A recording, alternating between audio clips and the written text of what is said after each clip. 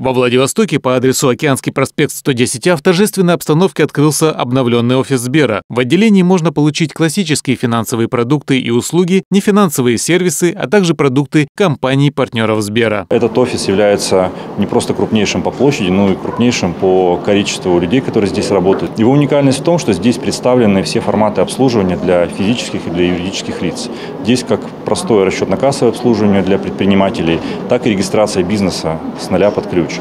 Э, для частных клиентов здесь расположен э, большой центр ипотечного кредитования, э, который занимается регистрацией сделок как кредитных, так и некредитных. Здесь можно абсолютно с нуля зарегистрировать сделку по купле-продаже жилой недвижимости. В новом офисе есть и зона Сберпремьер, где посетители получают повышенный класс обслуживания. Каждый клиент направления Премьер имеет персонального менеджера, который в любое время решит вопрос в конфиденциальной обстановке. Сегодня мы уже услышали, что через этот офис офис э, ранее проходило в месяц 20 тысяч человек. Безусловно, комфорт, безопасность и возможность э, использовать различные элементы экосистемы Сбербанка в рамках одного офиса – это очень комфортно.